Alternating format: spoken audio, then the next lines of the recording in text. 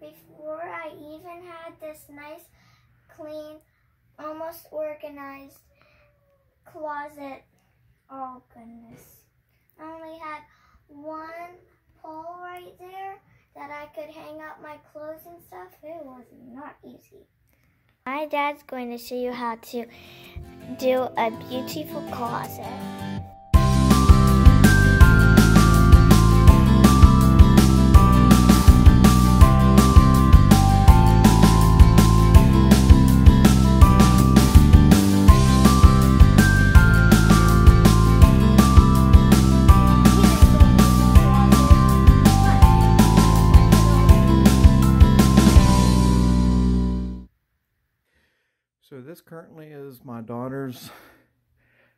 Closet. It's a double door. You can see there's a door on this side and a door on this side. And currently what she has is just a 12 inch wide hang on the wall type rod shelving. Now that we got the shelf out, the old shelving out, now we need to repair all these holes that got put, put in the wall and then there's some other scuff up spots. So how you do that is you take a hammer and you pound, you dent, dent those holes in. That's how you repair those. I got myself some some drywall compound. Some call it sheetrock. There's no special kind and then you just mud the hole shut.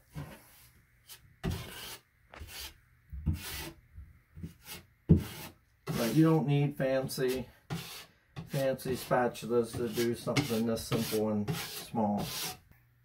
We're going to let that dry. Then we're going to sand it off. And in the meantime, we're going to go ahead and put in the first shelf. Yeah, I just went to Lowe's and got a 96 inch long piece which is 8 foot 16 inches wide. And just put a backing strip on there that part's going to screw to the wall. So there you go. There's the top shelf in the closet. So I think we're going to make this top shelf 20 inches from the ceiling. And the reason why I would pick that is when you look down 20 inches down you have a you don't have a lot of room here from the opening of the of the ceiling. So we're going to go ahead and make a mark here at 20 inches. Over here on this side I'm going to mark it 20 inches. And over here on this side of the right side of the room I'm going to mark it at 20 inches. And then on the right side of the end of the shelf I'm going to mark it 20 inches now we need to figure out where the studs are. Hear how that sounds?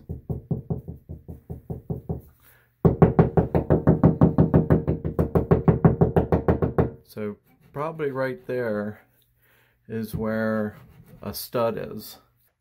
And as I explained earlier, when I put this together, I put a three inch wide strip on the back. That's going to be below below my mark. So what I'm going to do is right here where I was figuring out where the drive or the stud is, I want to mark out 20 inches there too so I know where I'm at. Anyhow, three inches down is where the bottom of the strip's going to be. You don't have to go buy a fancy stud finder, but you can if you'd like. But this area right here, I'm going to drill a hole, my drill with a screw, and make sure the stud's there. And the reason why I'm doing it between those three inches, because that shelf's just going to cover that hole up anyway. So if you miss, it's not a big deal. And we hit the stud. That's where we hit the stud. The studs are 16 inches. So I'll make a mark over here 16 that's where I'm going to put one screw and over here on this side, I'm going to measure over uh, 48. I'm going to make another mark, and that's where I'm going to put the other stud. And I like to use three and a half inch screws, outside exterior screws, and then it has these um, Torx. And usually they come with with the bit. So we made a mark up here and from the wall for this stud, this hole is it's 32 and a quarter inches from the wall. So what I'm going to do is make a mark here, 32 and a quarter inches. That way I know where the screw hole is going to be. It's going to go into the stud. And then from this hole to this hole is 48 inches. So what I'm going to do is start another screw at 48 inches here. And then I'm going to get those two two uh, screws started a while.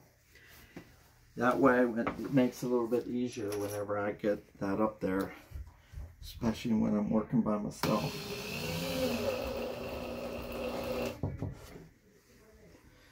That screw in there. Put that screw in here. You, now that I had the shelf up there, I'm holding it up there, and then I'm just going to run this screw in. Okay. Then I'm going to go in over here on this side. Run that screw in. I use this same trick of drilling holes in the wall right here to try to find, because it sounded like there was a, a stud right there. You can kind of hear a different sound. Well, of course, there's not a stud there. But no worries about the holes.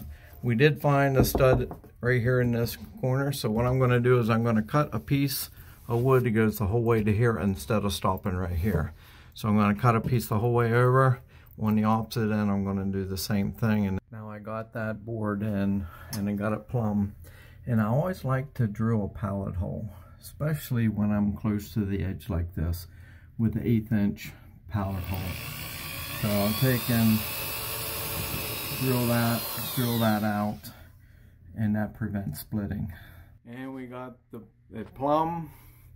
So now we're gonna run in the screw.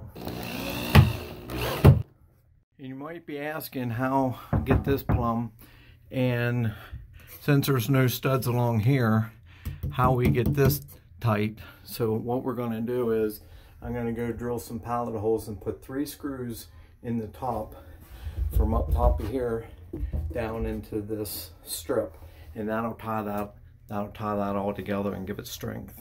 All right, we got the shelf fully fully secured in. We got a screw hole in the left front there. And then I got a screw hole here every 16 inches. We got one put in. And then of course right there. And then the tops I have four screws in there. I said I was going to put three in, but we put four in. In the same way with the other side. Now what we're going to do is I'm going to cut a board down and screw it screw it up on top come out to about right an inch from the end and put a board down through and I'm going to build that up next step is I will fill in these holes in the wood with some drywall compound when that dries we will sand that off out in the garage we're going to cut two boards, one for each side for the shoe shelves, and put a couple boards in between. Now we made lines to put these shelves all 10 inches apart.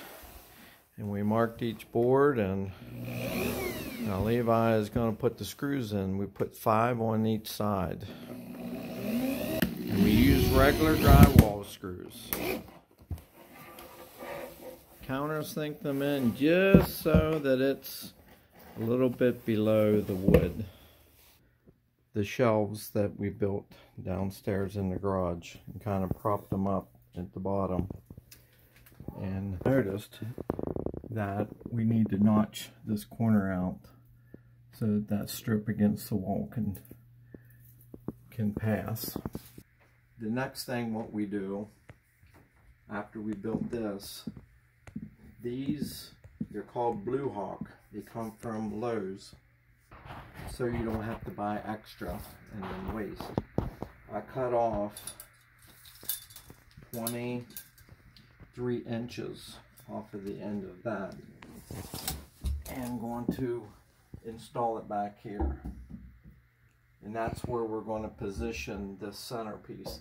And you want to give yourself about a, a quarter inch on each end to keep it this way.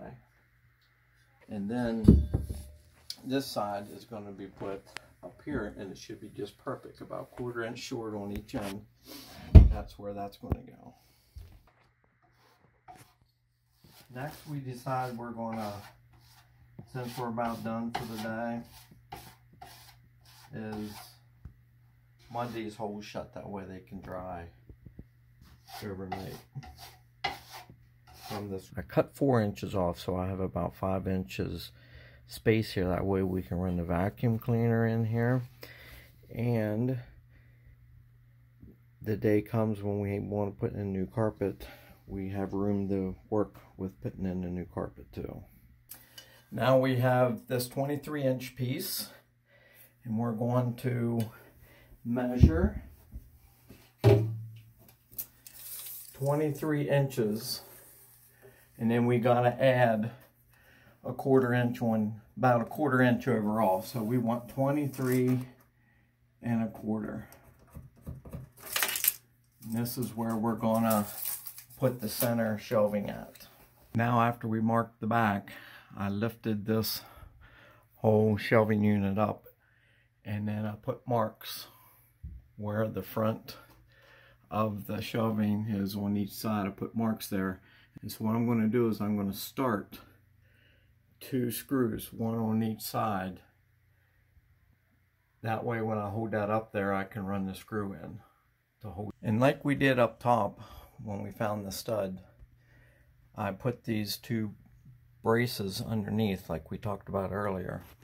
And I mark it from the wall over here over to this mark and it's 32 inches where the stud is. So I'm going to throw a, a screw in there and one down under here. But first, before I do that, I want to put the level along here just to make sure that it is level and plumb. The top. Then we run some screws in the top to help draw it up tight. See how that's pulled up? Now we got it pulled up nice and tight. Very nice. Now you might be asking about the gap and stuff in there. We're going to take care of that later. I'll show you how that's being done. With my mark here inside, that's where the, the nail's going to go because that's the stud. Over here I made a mark. I held this over to where I put the level up on the side to make it plumb. Now I'm going to screw in a long screw into that stud here and then down under here.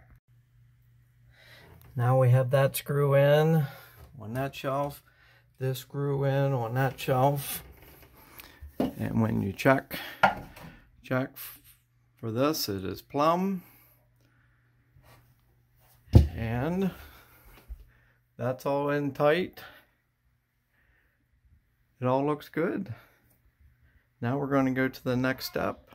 And now on top and and the shelf down through the center for the shoes is installed now so this was the end of part one subscribe so you can get the notice for when part two comes in when we want to finish everything and make everything look good